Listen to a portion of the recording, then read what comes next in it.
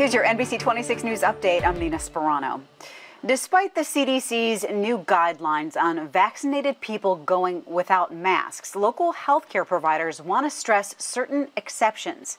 Today, Bellin Health, Aurora Bay Care, Prevea Health, and HSHS hospitals released a statement that said people need to continue wearing masks in healthcare facilities.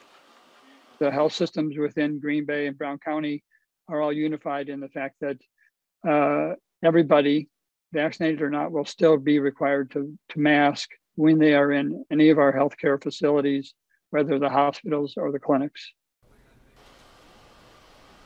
Masks are also still required during travel on buses, trains, planes, and public transit, and private businesses may choose to require them. Another place you will need to keep your mask on is in Pick and Save. The grocery chain's parent company, Kroger, is keeping mask requirements in place for now. The company says they're reviewing their current safety policies and getting feedback from employees before taking further steps. Kroger owns nearly 2,800 stores across 35 states. Time now for a check on our weekend forecast. Here's Chief Meteorologist Cameron Moreland. Cam?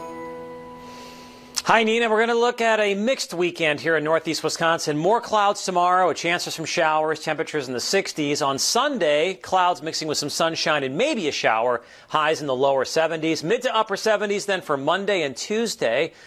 A warm front moves through Wednesday and Thursday with a chance for some showers and thunderstorms. On the other side of that warm front on Friday, chance for a storm with highs for much of Wisconsin getting up into the 80s. Have a great weekend.